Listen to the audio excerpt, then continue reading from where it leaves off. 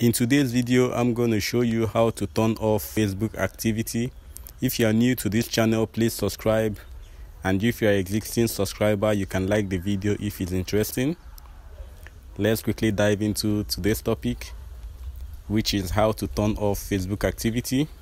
As you can see, I'm currently in my Facebook menu. From the Facebook menu, you scroll down. You click on settings and privacy under the settings and privacy, you click on settings. You scroll down and click on off Facebook activity. As you can see here are my recent Facebook activities. The first one is from vidIQ, Beauty Plus and Audiomack. Let's view other Facebook activity and manage them. Click on view and manage activities. As you can see here are all my Facebook activities. Scrolling down, you'll see them all. You see them all.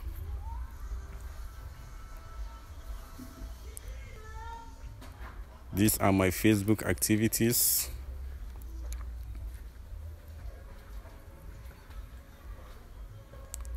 So if we want to turn off any of the activity for example let's look for an activity and turn off.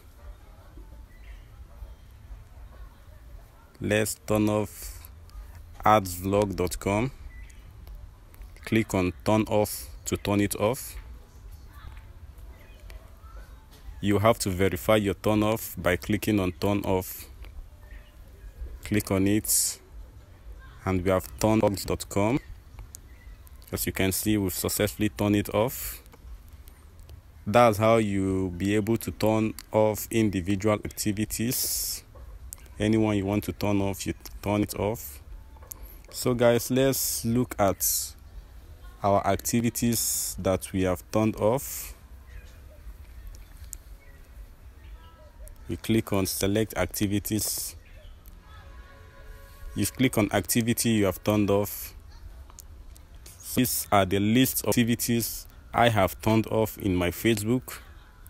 So guys, that is it on how to turn off Facebook activity. I believe this video is helpful. If it is, please like the video and don't forget to subscribe if you are yet to do so. See you guys in my next video.